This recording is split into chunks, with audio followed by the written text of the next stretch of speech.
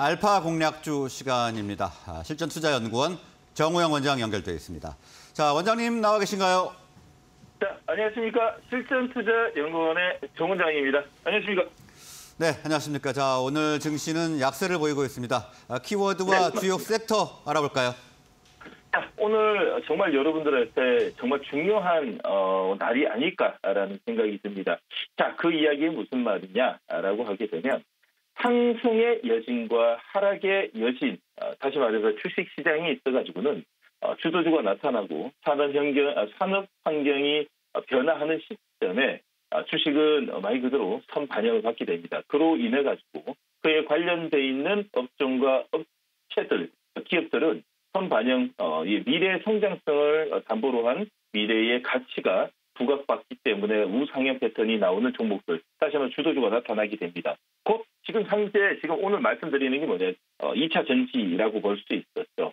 다시 말해서 2차 전지 지수 900선까지 끌고 왔었던 이유는 원동력이 뭐냐라고 보게 되면 오히려 2차 전지, 어, 2차 전지 주도주, 다시 말해서 어, 에코프라, 에코프로의 BM을 필두로 한 우리나라의 한 4, 50개가 넘는 업체들의 미래 성장을 보고 끌고 왔습니다. 관련 어, 좀 어, 왔던 거죠. 그럼 제가 오늘 말씀드리고 싶은 여지는 뭐냐, 이야기는 뭐냐, 상승 시에도 여진이 나타나게 되고 막판에도 그리고 하락 시 하락의 하락 때도 막판에도 다 여진이 나타납니다. 다시 말해 지금 현재 어제 어, 외국인의 매도가 역대급 역대 두 번째로 많은 어, 이 시기였습니다. 그러나 그러나 우리가 오늘 어, 이 외국인의 매도를 보게 되면 오늘 한 차례 지금 현재 조금 전까지 조금 전까지 외국인의 매도가 550억까지 매도를 하다가 지금 현재 V자로 돌리는 자리가 좀 나오게 되는데 지금 코스닥 일봉을 여러분들 보실 수 있으면 보실래요? 보시게 되면 21선까지 자, 아, 21선까지 쭉 끌어 내려오는데 고작 어, 고작 어, 외국인 500억까지밖에 매도 안 하는데 지수는 1.25까지 빠진다. 이건 오히려 더막 아, 하락의 어느 정도 마지막이 아닐까. 단기적 하락이 마지막이 아닐까. 만약에 이 자리에서 V자로 돌리게 되면 오히려 더 기존의 주도주가 지금 현재 V자로 세게 내면서 여러분들이 사지 못했던 어, 관련 종목들이 편입할 수 있는 또 다른 기회가 아닐까라는 생각이 듭니다. 다시 말해서 상승을 보였다면 상승의 여진이 나타난다. 그래서 상승을 보이다가 너무 가파르게 오르다 보니까 잠깐 조정은 나오지만은 이 조정의 폭은 빨리 회복이 될 수 있다라는 이야기를 좀 드리고 싶어서 제가 이제 어, 좀 다른 표현으로 상승의 여진과 하락의 여진 그리고 이제 이야기 좀 드렸습니다. 자 그리고 한마디 좀 더 드리면 여러분들 기억나시나요? 12월 중하순에 이제는 690을 못 본다 아, 후에 어, 2월 중순과 2월 말쯤에 800도 무난하게 돌파를 하고 900선까지 보고 그 후에 이제 우리나라의 시장의 이 하반기를 위해서 좀 준비하자라는 말을 자, 이 방송 따지 말을 어, 2대1리 알파 공격소에서 제가 이야기 드렸는데 그때 당시만 해도 사실상 어, 우리나라의 웬만한 어, 100명 중에서 99명은 상, 저, 하, 고를 외쳤는데 자, 우리 유일하게 우리나라 100명 중에서 한 명이라고 말할 수 있는 실전 투자의 종원 장관이 그 이야기를 적중했습니다. 이상하게 단 1%도 틀리지 않고 이렇게 적중하는 게 있을까라는 말까지도 할 정도로 이상하게 적중을 했습니다. 자, 그러면 오늘 말씀드리는 걸 잘 들으셔야 됩니다. 자, 20일까지 떨어졌습니다. 20일선 지지캔들이 오늘 나오냐, 못 나오냐인데요. 자, 제가 볼 때는 하루 이틀 차이지, 자, 하락, 상승을 보였던 이 자리에서는 상승은 좀 보일 것 같습니다. 그러니 좀 걱정하지 마시고 이 자리에서는 오히려 더 이제 실적 관련돼 있는 어, 종목들, earning surprise 관련돼 있고 기관과 외국인의 수급이 한적하게 좀 많이 몰려 있는 종목들로 여러분들 좀 관심을 좀 가져 봐야 되지 않을까라는 생각이 듭니다. 자, 섹터별로 오늘 체크를 해 보도록 하겠습니다. 자, 반도체, 설계, 뿐만 아니라 오늘 반도체 관련된 이제 반도체 설계, 부품, 에너지 관련주들이 좀 움직이고 있고요. 자, 며칠 더, 한 2주 동안, 3주 동안 조정 엄청 보였던 로봇 관련주도 좀 움직이고 있습니다.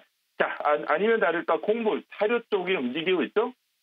작년이었습니다. 작년에 지수가 안 좋을 때 해치, 해치 방어용으로 우리나라 종목 중에서 제일 크게 움직였던 게 곡물, 사료, 에너지였는데 오늘은 자, 곡물, 사료가 움직입니다. 그러면 우리 여러분들은 이제 시장을 볼 때 시속 게임을 보여야 될 것 같습니다. 2차 전지와 지금 현재 어, 주도주로 움직였었던 섹터가 있다면 곡물 사료하고의 반대편 시속 게임을 좀 봐야 된다는 생각이 듭니다. 자, 거기에 있어가지고 오늘 만약에 지수가 이 좀 더 하락률을 오후까지 이어진다면 지금 현재 어, 어, 지금 현재 어, 수급의 어, 수급을 동반해서 올라오고 있는 한일 사료가 오히려 지금 현재 제일 유리하다고 좀 볼 수 있고 어, 특히나 어, 특히나 로봇 관련 주에서는 오늘 아침부터 가파, 가파르게 지금 치고 이제 5일선에 다시 안착시키려 그러는 STG까지는 여러분들 좀 관심을 갖고 보자는 의견을 드리겠습니다. 그 말고는요, 오히려 더 지수가 V자 급등을 다시 한 번 더 냈을 때에 기존의 주도주 2차 전지 쪽에서 여러분들이 조금 더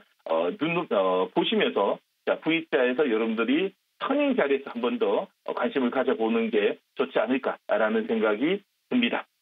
네, 오늘 키워드는 상승의 여진과 하락 여진에 대해서 이야기를 해주셨습니다. 자, 다음은 공약주도 알아보겠습니다. 자, 오늘 공약주는요, 대표적으로 우리나라의 주도주라고 생각했었, 알고 있었던 에코프로 BM에 대해서 좀 설명을 해 드리도록 하겠습니다. 자, 에코프로 BM은 여러분들, 어, 누구나 너무 많은 분들이 매일매일 체크하고 보시고 있는 종목이기 때문에 캔들을 가지고 이제 이 설명해 드리도록, 어, 먼저 어, 설명해 드리도록 하겠습니다. 자, 차트를 한번 보시면요. 어제의 이 우리나라의 대규모의 매도가 있더라도 사실상 어제의 어, 단봉의 양봉입니다. 그리고 오늘 자, 추가적인 하락이 조금 나오다 보니까 사실상 어제의 이 매도 물량이 못했던 물량이 살짝 나오는데 마이너스 3.5%입니다. 그런데 오늘 하루 캔들만 보면 마이너스 3.5, 어, 3.7, 어, 3.5인데 저점에서 올라온 게 얼마인데 3.5 가지고 지금 현재 추세를 논하냐라고 보게 되면 좀 말이 안 되는 것 같습니다. 아직 이상 없다라는 말을 전해드리고 싶고요. 자, 2차 전지 양극재 소재 생산 업체입니다. 에코프로 BM은 전체 실적이 1분기 매출 2조 100억으로 발표하며 역대 최대 실적을 예고하고 있습니다. 자, 어, 미국의 IRA 세부법원의 양극 화일 물질이 핵심 광물에 포함되며 국내 양극재 기업의 불확실성 해소가 되며 투자 투자가 본격화될 것으로 기대되고 있고요. 자, 오늘의 이 음봉은 오히려 더 다음 주에 여러분들이 조금 더, 어, 볼, 어, 추가적인 상승을 볼 수 있는 아군의 음봉이 아닐까라는 생각도 들게 만드는 음봉인데, 자, 그러나 맹신하면 안 됩니다. 맹신하지 말고, 오늘의 수급은 지금 현재 매도 물량이 나오니까 접근하지 마시고, 오후장에 지수 V자와, 어, 에코프로 BM이 현재 외국인의 이 현물 매도가 15,000주 나오고 있는데, 15,000주가 줄어드는 자리에서 매수하는 것도 나쁘지 않다라고 생각이 듭니다. 자, 오늘은 여기까지 하고요. 자, 목표가 가도록 하겠습니다. 목표가는 35만 원, 손주가는 27만 4천 원 주도록 하겠습니다.